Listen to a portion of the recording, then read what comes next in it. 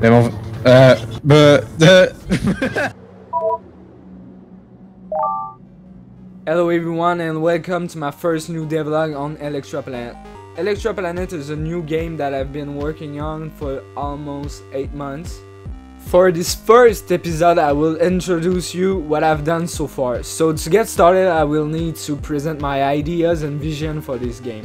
Electra Planet is a survival multiplayer game where the goal is to have this feeling you can control your own planet by building a house, protect your planet, explore the planet and mainly survive. The main goal of this game is that your character comes from a whole room planet so now he's on uh, this new planet trying to get as much as possible energy especially electricity to survive and develop your own factory and trying to not ruin your new planet. So I think everything is set so let's get started. First I think was the most important things to me is to have a good character controller. This is what took me the most time because of trying to optimize as much as possible. So at first I worked on movement so that it could work with camera and made it compatible with controller. Second I worked on some inverse kinematic with uh, the foot and the chest of the character so that it could be more realistic. After I worked on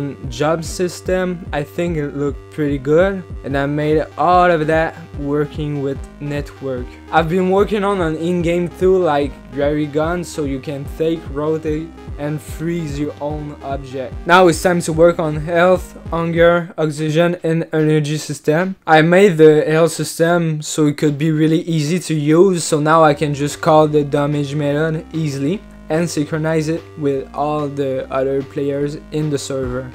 Everything will be based on energy, so almost everything will depend on it, like the oxygen maker you will have on you. And I also made some UI and sound to go with it, so it could be really nice.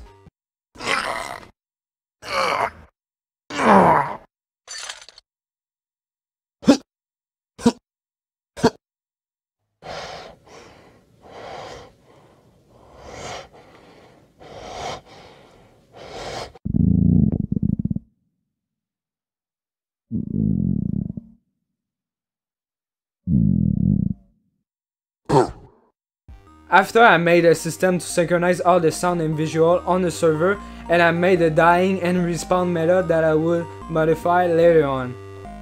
And after to express my hard idea and style for the game, I choose this color palette because the game was pretty gray.